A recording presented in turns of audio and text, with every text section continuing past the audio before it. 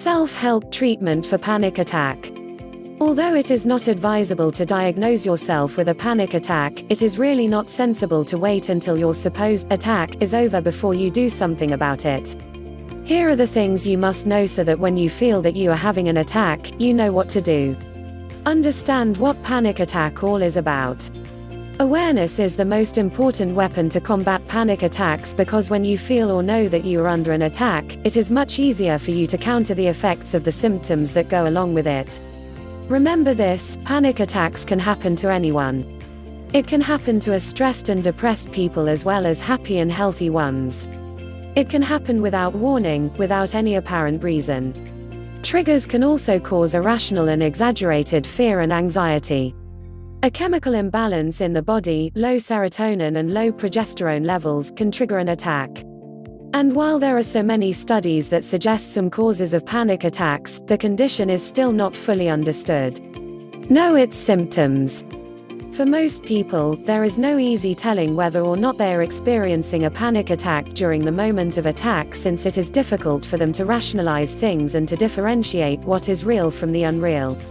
While this is the case, it is not really an excuse. Here are the symptoms of panic attacks heartbeat or palpitation, chest pain, hyperventilation or shortness of breath, stomach churning, upset stomach, trembling and shaking, muscle tension, sweating. Dizziness and lightheadedness, hot or cold flashes, tingling sensation or numbness, fear of dying, going crazy or losing control and feeling detached from the surroundings. Take note that people react to triggers differently, thus symptoms may vary from person to person. Practice deep breathing. Deep breathing during an attack is the most effective way to reduce the symptoms you are experiencing as well as divert your attention from the fearful thought.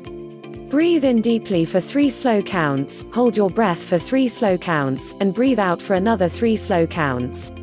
Repeat this process until you feel you are calm. You can also breathe into a paper bag. This reason for this is that rebreathing your carbon dioxide helps correct the blood acid level that had been disturbed by excessive breathing.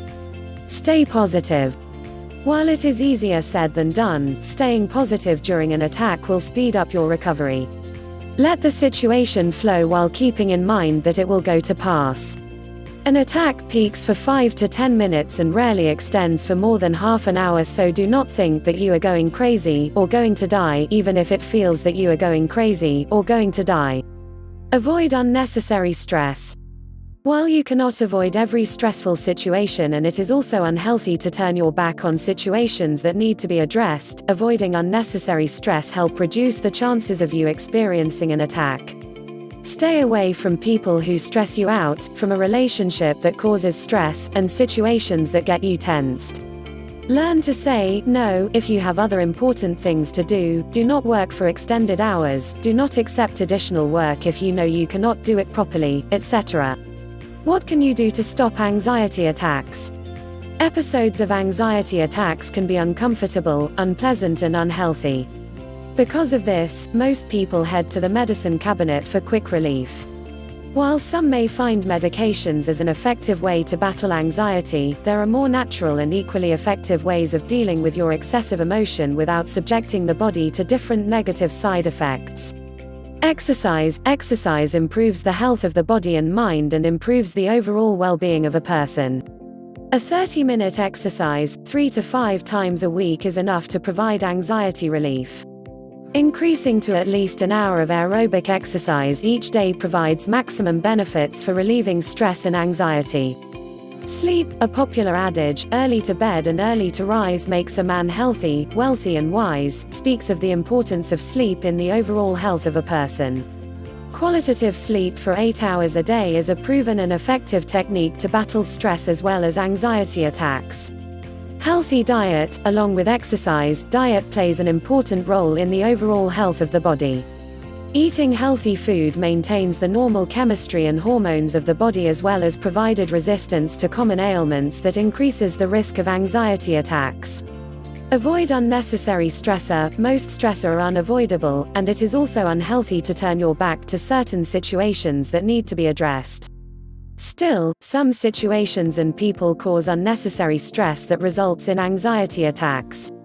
Avoid people that stress you out, learn how to say no, trim down your to do list, avoid sensitive topics such as politics and religion, etc.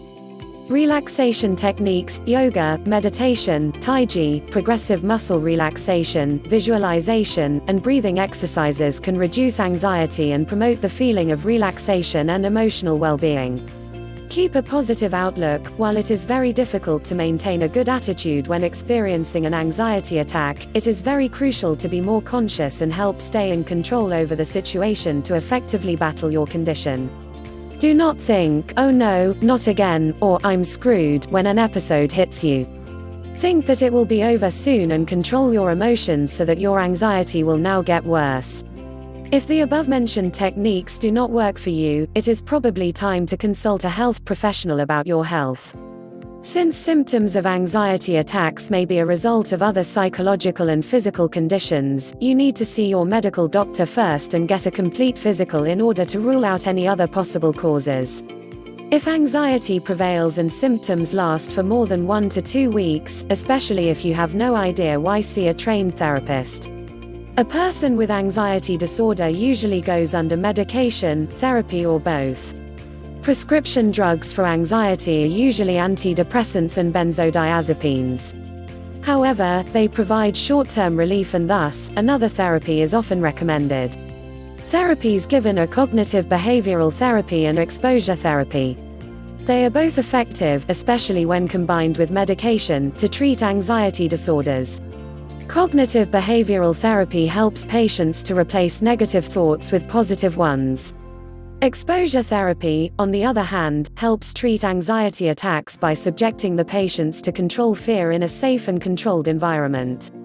Through repeated exposure, patients gain greater self control and more confidence in facing fearful situations. What you should do if you had a panic attack.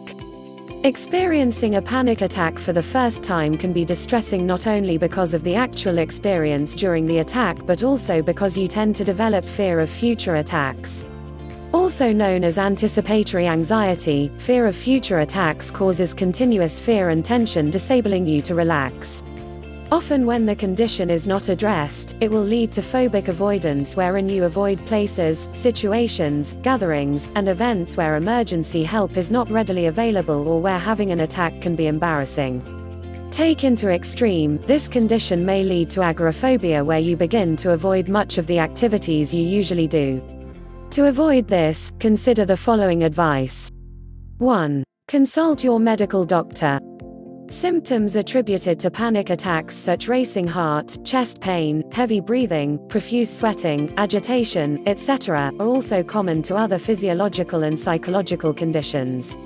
Seeking for proper diagnosis from your doctor, therefore, will rule out any cause unrelated to anxiety. Tell him your symptoms, when did the attack happen, and how intense the attack was. Your doctor will ask about your past medical history and may run some tests, e.g., urine test, blood test, drug screens, etc. 2. See a therapist who is properly trained to handle such psychological conditions. No, you are not crazy, people who go to a therapist are not crazy. The reason why you have to see a therapist is to process your emotion and prevent future attacks. Do not wait too long to seek help. Left untreated, a panic attack can lead to more severe conditions. Your therapist may subject you to cognitive behavioral therapy and exposure therapy to process your thoughts. 3. Find the cause of the attack. Some cases of panic attacks may show a pattern, certain activity, thoughts, time or person you were with at the time of the attack. These give you important clues to eliminate later symptoms. 4. Learn some relaxation techniques you can practice at home or while out. Music, meditation, yoga, and breathing techniques are not only helpful in reducing the symptoms during the actual attack but also in strengthening your body's relaxation response. 5. Do not add more fear. Absorbing all the fears and other negative thoughts that come with anxiety attack only adds to more fear which worsens the negative impact even further. Instead, recognize that you are afraid and make it work to your advantage. 6. Practice a healthy lifestyle, regular exercise, balanced diet, and enough sleep. Studies prove that at little as 30 minutes of physical activity 3 to 5 times a week is a great stress buster, helpful in preventing future attacks. A balanced diet keeps the supply of nutrients and maintains the balance of a chemical in the body. Sleeping at least 8 hours each day recharges the body, refreshes the mind, and calms the muscles. 7. Remove all unnecessary stress. Since panic attacks are closely linked to stress, avoiding things, people, and situations that stress you out help reduce the chance of future attacks.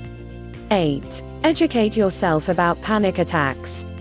There are many resources where you can learn more about the condition. Reading books, health magazines, and internet articles about the panic attack will equip you with the right